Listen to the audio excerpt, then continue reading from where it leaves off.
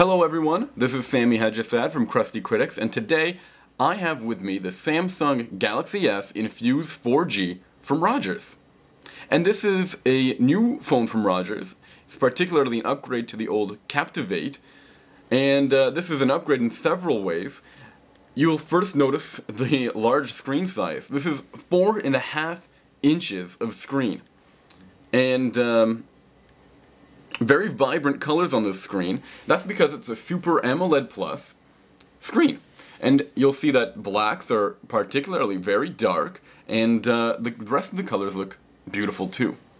Another reason this is a huge upgrade over the old Captivate is that this phone launches with Android 2.3 Gingerbread, unlike the American counterpart from AT&T.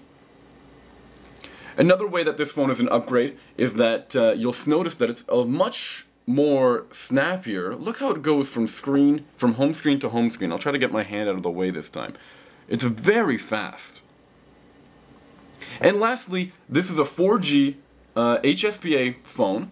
You can see up here, there's a little 4G icon, which indicates that we're on a 4G network.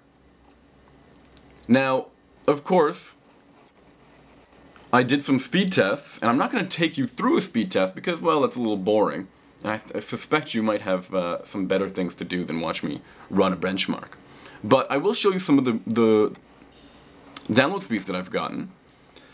The latest one today, uh, just about half an hour ago, I got 6.28 megabytes. The one before that, uh, 5 mega, uh, 5, almost 6 megabytes down. And uh, earlier I got 8 and almost 7. And not only are those fast download speeds, we also have some pretty fast upload speeds, almost 3 in uh, sometimes I've tested. Why don't we take a look at the internet browser, which I find significantly faster um, than uh, what you might find on an Android 2.2 device, like the Captivate. So we'll just load up our website. And there it goes. Now our site is very content heavy, lots of images, and um, it's not mobile uh, optimized at all, so it was a pretty big risk for me to, to, to show this. And uh, zooming in is nice and easy.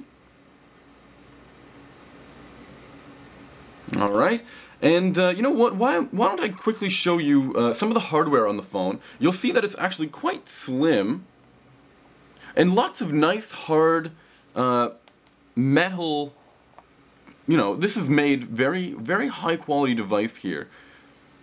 Uh, this is a 8 megapixel camera here on the back, and over on the front you'll notice that it's got a, a little camera over here. That's a 1.3 megapixel camera.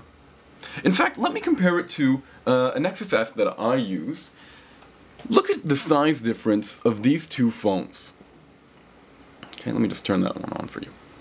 Okay, you can clearly see that this one, this four and a half inch screen is, is quite big in comparison to the old Nexus. And not only that, but look at the look at the thickness of these two phones. Now, of course, the it's difficult because the Nexus has uh, a curved screen. We can't exactly put them side to side.